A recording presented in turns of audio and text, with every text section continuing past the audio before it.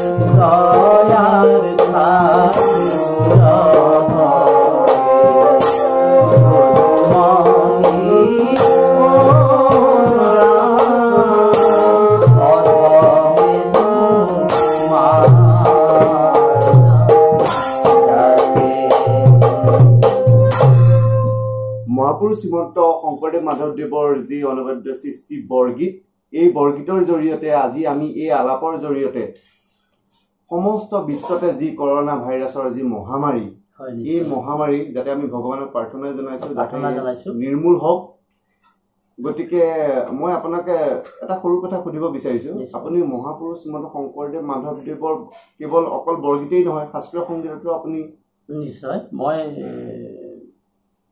বৰগীতৰ বাদেও অংকীয়া নাট মহাপুৰুষ মাধৱদেৱ বিৰচিত শংকৰদেৱ বিৰচিত ঝুমুৰা নাট আৰু লগতে সত্ৰীয়া নৃত্যৰ প্ৰশিক্ষণ লৈ আছোঁ আৰু প্ৰশিক্ষণ দিও আছোঁ। মোৰ এখন স্কুলো আছে মণিকাঞ্চন সংগীত মহাবিদ্যালয় বৰঙাবাৰীত অৱস্থিত স্কুলখন। আজি বহুত বছৰ ইয়াৰ আগতে আপুনি ৰিফাইনেৰীত ক'ৰবাত এখন সংগীত হয় মহাবিদ্যালয় নিশ্চয় নিশ্চয়। মই বঙাইগাঁও ৰিফাইনেৰীত আছিলোঁ। দুহেজাৰ চনৰ পৰা মই দুহেজাৰ সোতৰলৈকে আছিলোঁ। দুহেজাৰ চনৰ পৰা দুহেজাৰ সোতৰলৈকে মই সোতৰ বছৰ কৰ্মৰত আছিলোঁ বঙাইগাঁও ৰিফাইনেৰী মেনেজমেণ্টৰ আণ্ডাৰত। এখন কলেজেই বিদ্যালয় বুলি কৈছোঁ আৰু মহাবিদ্যালয়। তাত মই সোতৰ বছৰ কৰ্মজীৱন পাৰ কৰি আহিছোঁ আৰু সেই স্কুলখনত বহু ল'ৰা ছোৱালীক মই সত্ৰীয়া নৃত্য আমি জনাত মানে আপোনাৰ কণ্ঠত আচলতে বহুত বৰগীত আমাৰ গোস্বামী ছাৰেও কয়। আপোনাৰ নৃত্যৰ ভংগীমাও বহুত সুন্দৰ। আমি সেয়া দেখি আহিছো আপুনি যথেষ্টখিনি কৰ্মশালা কৰি আহিছে বা আনকো শিকাই আহিছে। হয়। অকমান আপোনাৰ নিজৰ ক্ৰিয়েশ্যন মানে আপোনাৰ সৃষ্টিৰ মানে বৰগীতেই হওক বা অংকীয়া গীতেই হওক অকমান নতুন সুৰৰ আমাৰ ৰাইজে শুনিব। অকমান ভাল লগা বেছিকে ভাল লগা মানে অকমান।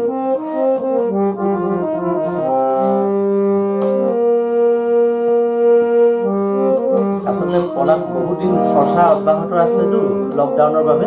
সেইকাৰণে আচলতে কিছু কিছু বস্তু স্মৃতিৰ পৰা হেৰাই গৈছে। তথাপি আমি চেষ্টা এটা কৰিছোঁ।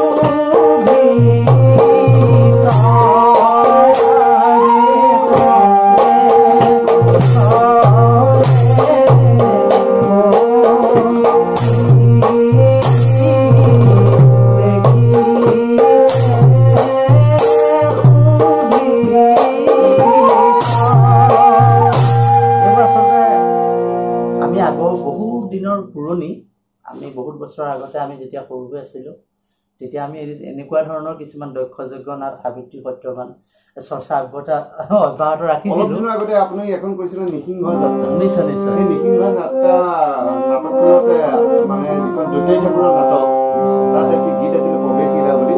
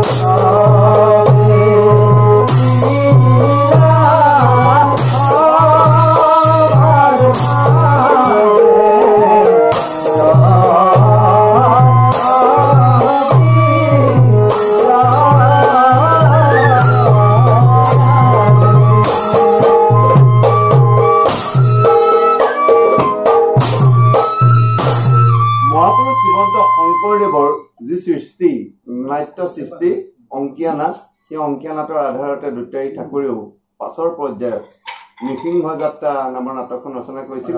এই। গীতটো আচলতে নৃসিংহ যাত্ৰা নাটকখনৰ জয় বিজয় প্ৰৱেশৰ এটি গীত। প্ৰৱেশৰ। প্ৰৱেশিকী গীত এইবিলাক। গতিকে তেখেতৰ কণ্ঠত আমি শুনি পেলাই অতিকৈ আনন্দিত হ'লোঁ আৰু আশা কৰিছোঁ ৰাইজেও ভাল পাব।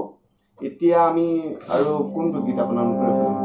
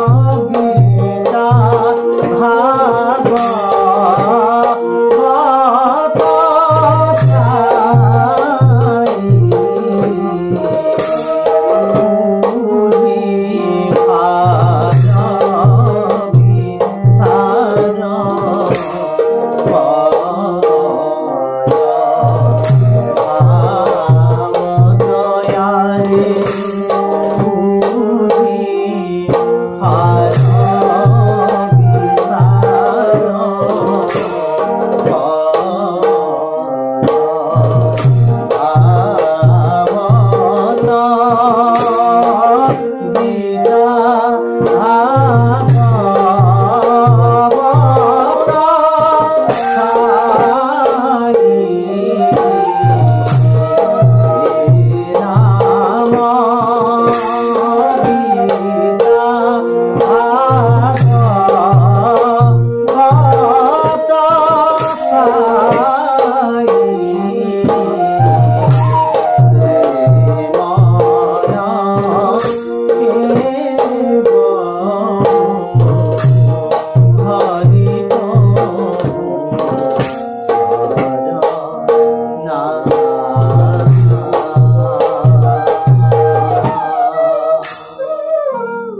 সঁচাকৈ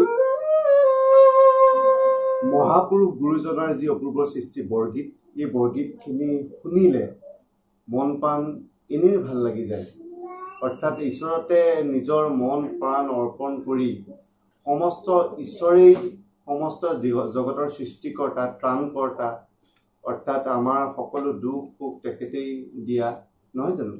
গতিকে মহাপুৰুষ গুৰুজনাই একশৰণ হৰিনাম ধৰ্মটো প্ৰচাৰ কৰিবলৈ যাওঁতে এই যি বৰগীতক আধাৰ হিচাপে লৈছিলে আমি সেই আধ্যাত্মিক ভাৱাপন্ন সেই গীতখিনি খুবেই ভাল লাগিল। আপুনি কি ক'ব?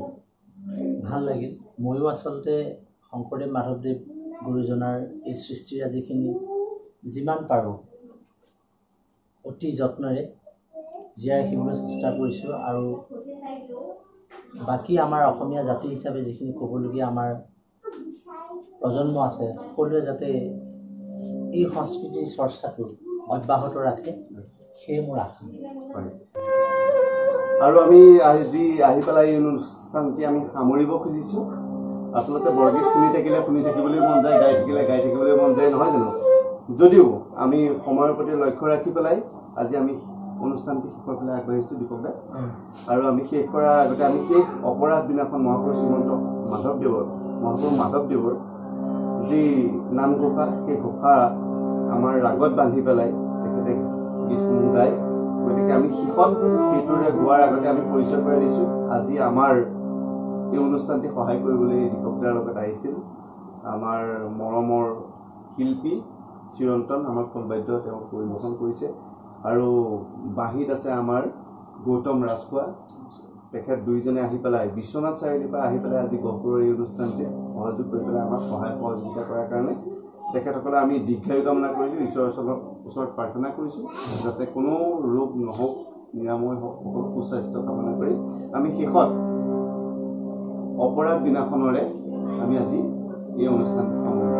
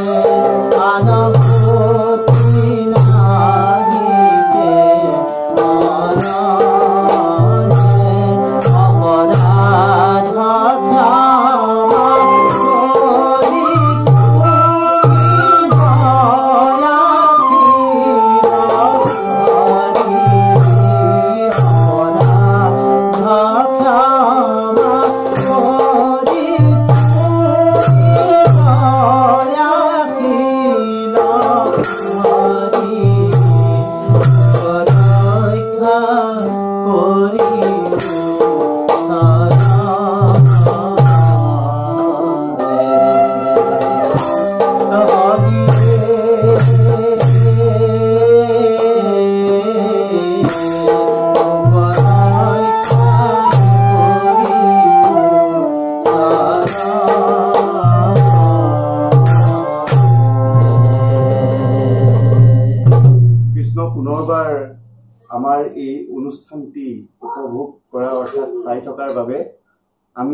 আলাপৰ এই অনুষ্ঠানটিৰ তৰফৰ পৰা সমূহ সংগীতপ্ৰেমী ৰাইজলৈ আমি পুনৰবাৰ ধন্যবাদ জনাইছোঁ।